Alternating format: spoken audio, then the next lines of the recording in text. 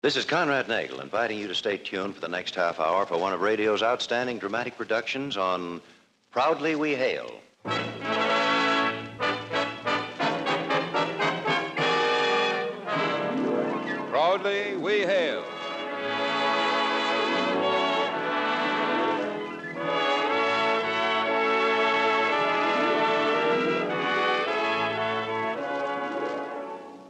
Another Proudly We Hail, one of radio's outstanding dramatic half hours, transcribed coast to coast in cooperation with this station and presented by your Army and your Air Force. From Radio City, New York, here is your host and star on Proudly We Hail, the distinguished star of the theater, screen, radio, and television, Conrad Nagel.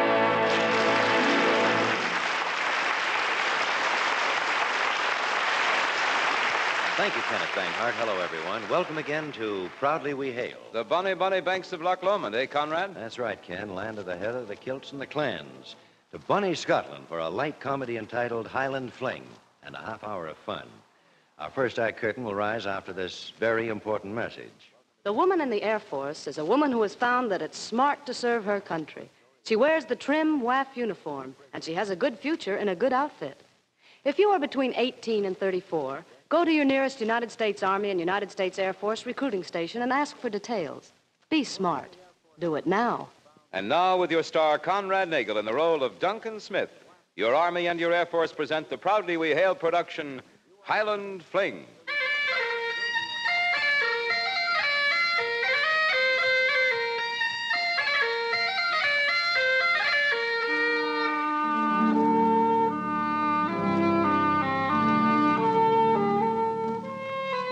When you think of Scotland today, you might think of it as a small, irregularly bordered country sitting like a tattered crown upon the austere head of England. It is a crown divided at its narrow waist into two separate and distinct parts, the lowlands and the highlands. But high or low, to Duncan Smith, it was a country that seemed to typify and champion conditions hard to come upon elsewhere, namely peace and quiet. Or so it was until that summer eventide when he came strolling into the little town of Kilrummy, lost in the heather-locked Grampian Mountains. Oh, I'll take the high road and you take the low road. And I'll be in Kilrummy afore ye. Hey, stand where you be. He'll sell carve ye. Hey, hey, wait, what's the idea? Wait a minute. Put, put down that sword. A Sassenach! A Sassenach spy! Look, will you stop waving that thing around? You're apt to cut both our heads off. Oh, off. near fear I'll near touch a hair of my own, but I'll hear yours on the castle wall afore sundown. See you praise, you great long ugly. Grandpa, stop No, no, but I've got it. Look, you heard what the lady said. Grandpa, shame on you. Oh, I am sorry. He means no harm, really. It's just that. Oh, wait till the chief hears what you've done, Elaine. He's a Sassenach. Here, give me No, that no, and no, stop no. your nonsense. Now go straight on home. And don't stop at the pub on the way. Oh, but I can't handle sport in this world. There's always a last to take a sword out of one hand and the glass of the other. Please, I hope you won't think. Well, this, I don't know quite what to think. You know, it's the first time a pretty girl has ever saved my life. Oh, he wouldn't have done you any harm. He, he gets a little mixed up, that's all. He sometimes thinks he's living in the time of Montrose. Things were different then. Oh, um, uh, let me take that sword. It must be heavy. Don't trouble yourself, sir. no trouble at all. Tell me, is that Castle Kilrummy up there? Aye, that's it right enough. You know, from here it looks rather battered. Oh, I warrant you'd look better, too, if you'd been fought over for hundreds of years. Who's fighting over it now? why, why, the clans, of course. I, I don't follow you. What clans? What clans? Why, the McMurdochs, the rightful owners of the castle. And those dirty black thieving spawns of the devil, the McMurrays. McMurray. Aye, McMurray! Hey, hey, put that thing down. Look, is there an inn or a tavern I could stay at? Aye, there's a fine bit of a tavern on the McMurdoch side. Colin, one of my cousins, he's the proprietor. He'll not cheat you much. You said McMurdoch's side. McMurdoch's side of what? Of Kilrummy. It's divided into two parts. Oh. Hey, just how many hundreds of years has this little spat been going on? Mm, over 500. And all for that, that old relic? I can tell you're nae Highland man. No, no, I'm an American. An My name is. An American. Well, yes, that's so terrible. They said when that bunty-legged rooster of the McMurray died, he left the castle to a distant kin in America. Out of spite, or maybe it was out of the knowledge that none of his clan was fit to be laird. Would you happen to be the new laird of Castle Kilrummy? Well, yes, but you see, I'm. To think that I've been walking and talking with a McMurray. Aye, the shame of it. Give me back that sword. If I was not a woman, No, I no, could... wait, wait, wait a minute. Wait a minute. I'll nae wait another second. I might have known a McMurray sneaking up and taking advantage of a harmless woman. Get over on your own side of the road. I'll promise you you'll rue the day you ever came this way. Hey, look, you've got it all wrong. Don't you ever speak to me again, you devil.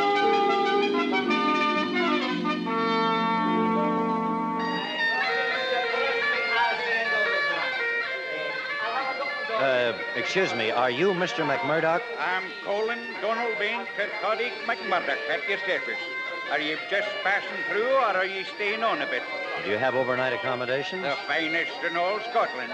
If you'd any mind sharing the bed with a wee bonny cow or two. well, I can stand it if they can. good man. Uh, good man. I was joshing you. You've come a long way. Yeah, I left the train at Aberfeldy. Then you must be somewhat dry. You're a discerning man. I'm that. now put your name down in this book and I'll give you something to take the dust out of your throat. Oh, thank you. Say, not many strangers pass this way. We're not exactly in the midst of things. That uh, isn't the impression I got. All right, see how this suits your whistle. Hmm. Magic. Aye, magic. Duncan Smith. Now, what kind of a name is that? Tis neither fish nor fowl. My mother was Scotch. See, that explains the Duncan. My father was a Smith. Well, that explains the Smith. Uh, it's a, you couldn't change it to Mac Smith. Somehow it seems a shame to spoil such a broad name as Duncan. That's a king's name with a, a Smith. There's no sound to it, no feel. It lies empty in a man's mouth. Yes, I, I admit it isn't exactly unusual, but I'm stuck with it. Why don't you call me Duncan? Uh-huh. Oh, well, I could do that. Colin. Uh, Cousin Elaine, you know I never allow a woman in my tap room. It's not decent. I realize that. But I know a thing you and all here should know. And it's not me you'll be putting out of this place. What kind of woman's talk is that? That man. He's the new laird of Castle Kilrummy. He's a McMurray. a match? Are you daft, lassie? He told me so himself. His name is Smith. He wrote it here in the book. What's a name in a book? Ask him if he's not the new laird. Will, Manny, Well, now, you, you've got it all wrong. I'm waiting for ye to make it right. Are ye the new laird? Well, yes, but... Quiet! Quiet, or I'll throttle the lot of you. We've got to be calm and judicious about this matter. Every man deserves a fair trial, even a low McMurray. Bruce, summon the clan. Lonnie, get a rope. A strong rope.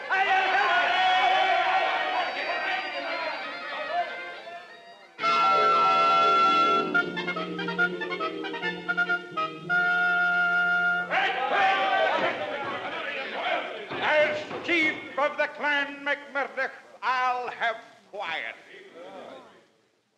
Would ye hey the McMurrays known we got their pride? Hey, give me me claymore, and I'll make us sporting of it. Shut your mouth, Gaffer, or I'll send you home to bed. Oh, now, 'tis the law of the clan that before sentence is passed on any man, even a McMurray has a right to speak his piece. Take the gag out of his mouth. I said take it out, not push it in.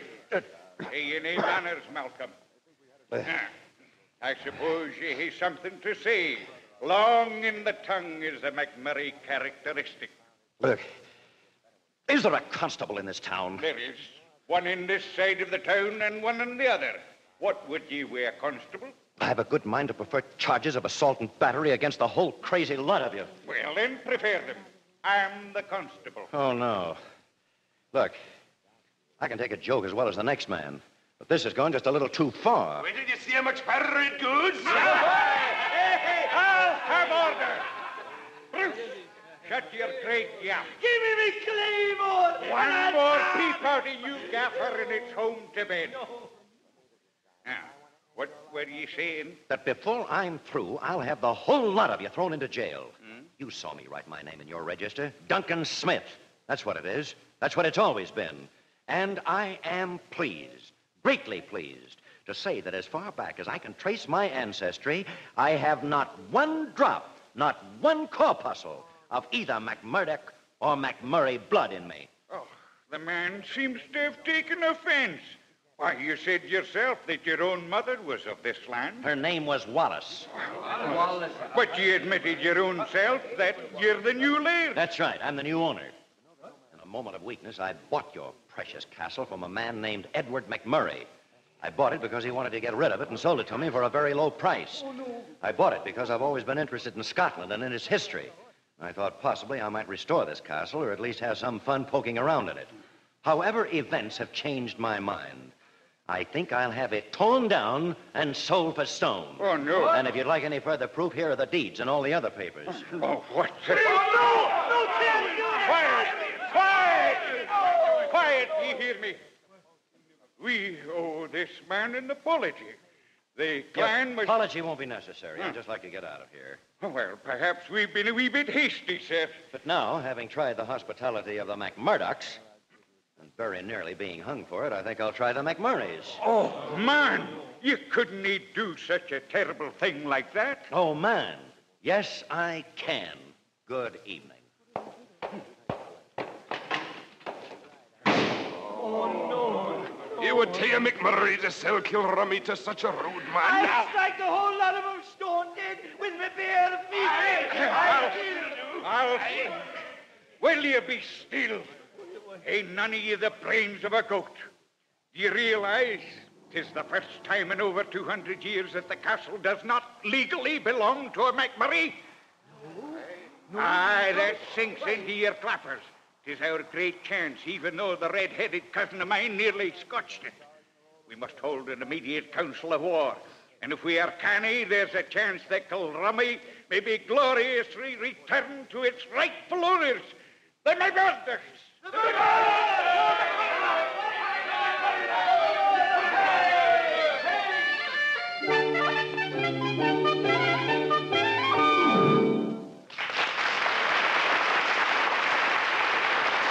Conrad Nagel, starring in the role of Duncan Smith in the proudly we hail production Highland Fling, will return in just a moment for the second act. Who's the smartest woman of the year? Why, the woman who puts on that new blue uniform of the United States Air Force. Smartly tailored and neatly groomed, she's being seen more and more around the nation these days. She's smart in another way, too. She started a great career as a WAF, one of the women in the Air Force working side by side with the men of the Air Force. She wears her Air Force blue proudly, with a sense of personal accomplishment, because she's doing a needed job in administration, in radio as a technician or operator, in the medical service as a technician, or in hundreds of other interesting fields. More and more young women 18 to 34 are finding out that the thing to do is to put on the smart blue uniform worn by the women in the Air Force. Get complete details at the United States Army and United States Air Force recruiting station. How about you? Can you qualify? You are listening to Proudly We Hail, and now with your star Conrad Nagel in the role of Duncan Smith, we present the second act of Highland Fling.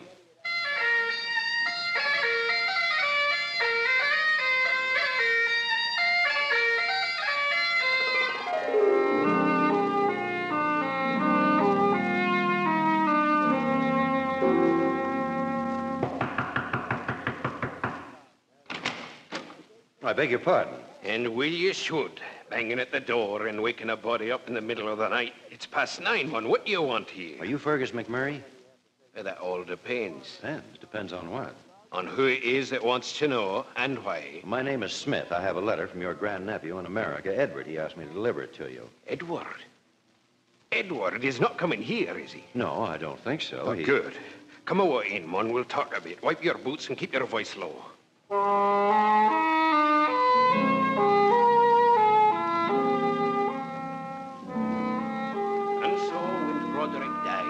The castle to Edward. A canny man was Roderick. Even in his grave, he'd taken no chances with the McMurdochs. We Edward as laird and living in America, there's little enough any of that clan of Satan can do to try and get the castle back in their evil clutches. But if you rightly own it, how can they take it from you? Uh, I can see you hae not had the misfortune of making any of their acquaintance. Don't, man. I warn you. Warlocks and witches, the whole pack of them, full of drumly tricks. Twice in the last year, they've summoned up spirits of their black ancestry to haunt the castle. I look amazed, but I ken it's true. Mr. McMurray, I think it's time I told you something, and it's going to come as a shock. Shock? I'm too strong a man to be shocked. There's nothing in this world or the next that can shock Fergus McMurray. What would you tell me? Well, um, it's in the letter there. Edward McMurray sold Castle Kilrummy to me. I'm sometimes a wee bit deaf. Uh, the McMurrays no longer own the castle. I do. You own the castle? Yes, that's right. I have all the papers here, and I. I... Good Lord. Mr. McMurray.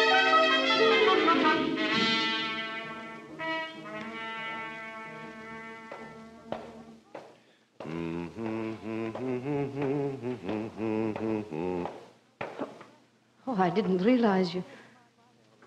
Well, for an instant, I didn't think you were real. I thought I was seeing a ghost. See, the way the light shone down through the window slits up there, it caught you in its shaft, and it was though you were a phantom who'd once been mistress here. I'm sorry to spoil your illusion. Perhaps if you come here at night, you'll see a real ghost. Oh, I've heard all about them. Uh, McMurdoch ghosts. Of course, no McMurdoch would ever have the stuff to come back. You, you must be very angry with me. Well, see, I make it a habit never to stay angry with pretty young lassies very long. You're free enough with your tongue. but I like the compliment. No compliments, the truth. Elaine the Fair. Elaine with the reddest hair in all Scotland. You, you make a girl blush. Uh, what are you doing here? Look, like you. Now that the McMurrays no longer own the castle, they kind of keep us off. Ah, this is the first time I've ever been inside like this. I feel, well, I feel at home. Yes, it does get you, doesn't it? You know, all that happened here, and now the quiet, the ruins of yesteryear, echoing, re-echoing to other sounds, other times. Aye, you put it so poetically. And for a man named Smith, it's fair astonishing. Well, um, suppose we show each other around. you, you'll not tear it down as you threatened to do. Well, not today. Come along with you. You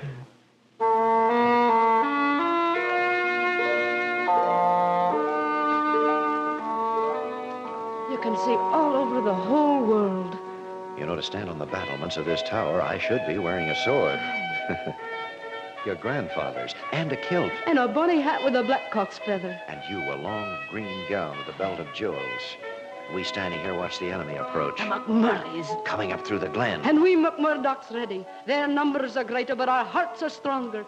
Ah, our men are bonny and gay, their great swords ready to bite deep for hearth and home. This is the sword, hammered and wrought by Gillian for Gillian. Aye. Isn't it time we had a trumpet call, or something to shout defiance to the whole Aye, world? Hey, now, what's that? what, we've been taken from the rear. Look, it's the horn of McMurray clan filling the courtyard. They never could fight fair. Mr. Smith! Come down, we'd hear word with you. Well, uh, what's the trouble? No trouble, except that you might like to know you're consorting with a witch up there. Thanks for the information. What can I do for you? Will you come down, like I say? Don't go down. It's some trick they're up to. I know them. What can they do to me? There's me. A minute ago, you were defending me against the barbarians, and now you're ready to go have words with them. Well, Mr. Smith, Uh, I like it up here. What's your business? uh, you're a very difficult man, and I don't favor shouting my lungs out. If you'll nae come down, I'll send a few of the lads up to help you. I told you that meant no good. I don't budge till I know what you want. All right, I'll tell you. We're going to do you the very great honor of adopting you into the Clan McMurray. It will may cost you a bobby, and it will save you from the clutches of that no-good rabble, the McMurdochs. Now, will you come down? Adopt you, but that's what we. Oh, you can't let them do it. It would mean you'd be a McMurray and they'd still have the castle. Yes, I realize that. Couldn't be that's why you've been so friendly to me. Oh. The McMurdochs are more subtle, a pretty last to catch the fish. McMurrays make no bones about it. Are you dead up there? Well, thanks for the invitation, Mr. McMurray. But you see, I never joined clubs. Clubs! Who asked you to join a club? We're adopting you into the clanman, whether it's I or nay, you say. It's nay, so come and get me. Elaine, look. See if we can move that big slab over the opening. You, you're not angry with me? Furious, come on. We've got to strike for hearth and home. I... Oh, you batlines! One fire crackers! Here the tower of home the sun goes down! Hey, McMurray! Hey, McMurray!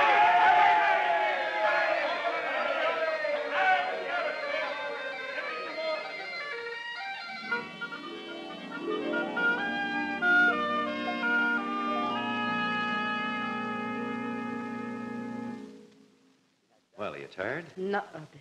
Did you see me hit that ugly devil with that bit of rock? Hey, you've got excellent aim. yeah, I hope we haven't killed any of them. Five times they've come against us, and five times we've thrown them back. Well, flinging rocks down on the heads of the helpless isn't quite like lunging with a claymore. Ah, don't let it bother you. You're a great fighter.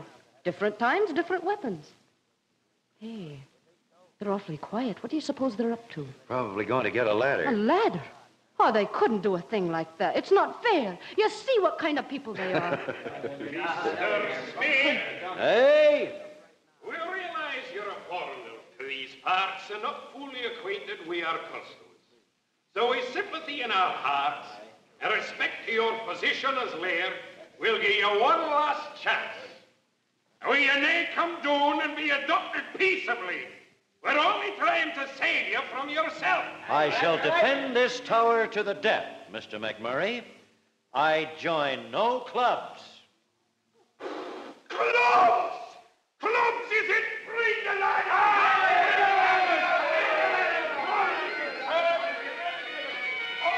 Listen! Good Lord, look! It's The clan! They've come to our rescue! Look, there's Colin! Hooray! My God, smash him once and for all!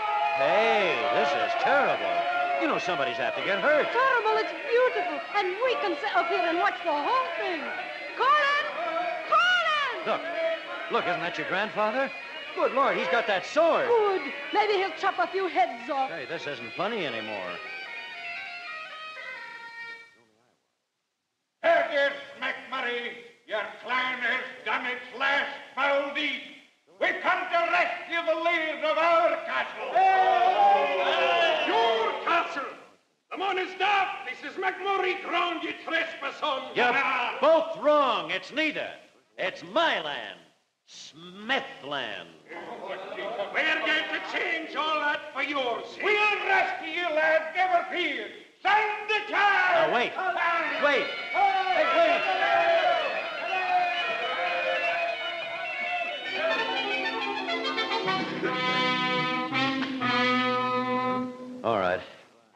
Now sit down, both of you. Now, nay, sit in the same room with a McMurray. All right, stand then, but be hmm. still. I'll take no orders This is my castle. I invited you here, even though you both came uninvited yesterday. The only good thing about yesterday is that nobody was killed. Why? I can't understand. We made mash of them. You made me. Quiet, both of you. Now, let's get this straight once and for all. This ridiculous feud between you people is centered on the castle. Is that correct? That is correct. It was McMurdoch built And McMurray held. All right, I don't care about that. Right now, I own it. That means that neither of your clans has the right of possession. And that means there's no longer any reason for this feud. You can start acting like normal human beings again. Well, You mean, you mean you'll not take sides? You, you'll put an end to it? exactly. I want no part of it after what I saw yesterday. End of the feud. Oh, Why, man, you couldn't do a thing like that. Aye, what would there be to live for? A man might just as well die. What else is there besides sheep and mountains? It is a sad day for the clans. A sad, sad day. Oh, tis the first time in over 500 years that a McMurdoch has agreed with a McMurray. But I must agree, a very, very sad day for the clan.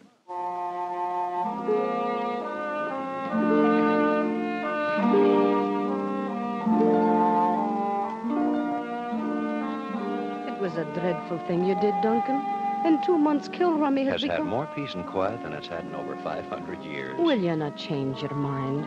Let us make you a McMurdoch. Even the McMurrays will agree to that. Well, Will you not let me make you a smith? Oh, don't joke. I'm not joking, Elena Fair. I've lost my heart to you. Will you have it? It's not much to give, I know. You want to marry me? Yes. I want to marry you and make you the lady of this castle. Ah. If I married you, then I'd not only become a smith, but you'd become a McMurdoch. It's the law of the clan. Would you have me at the price? Would you have me if it was otherwise? Oh, Duncan, you know I would. Just think. We can be married and the feud can start again. Yes. And all Kilrummy will go wild with joy. Oh, deliriously. And you. I. Oh, I'll be your own heart's darling evermore. Now, now let's go down to the village and tell them all the news. Hey, what, what, what's that? Why, it's the McMurdoch ghost. Uh, I shouldn't wonder you've made him happy, too. Ghost? Don't be silly. You did not think it was a McMurray ghost. That kind haven't got the color. Well, does, uh, does this ghost play here every oh, night? No, only on special occasions. Aye, doesn't he sound bonny? Look, there's someone down there in the courtyard. Look, I can see them moving. Hey, hey! Stand where you be, or I'll carve you. Grandpa! Grandpa, you go home to bed.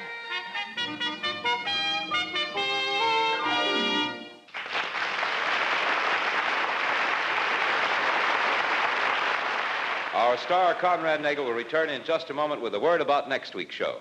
Registered nurses, the United States Air Force Medical Service offers you a great opportunity to serve your country and further your own career. Yes, you can become a commissioned officer with good pay and allowances while you receive postgraduate training in anesthesia, operating room management and techniques, nursing administration, and other related fields. Nurses with special qualifications may train as flight nurses at the famous Air Force School of Aviation Medicine. For complete information, write to the Surgeon General, United States Air Force, Washington 25, D.C. Do it now.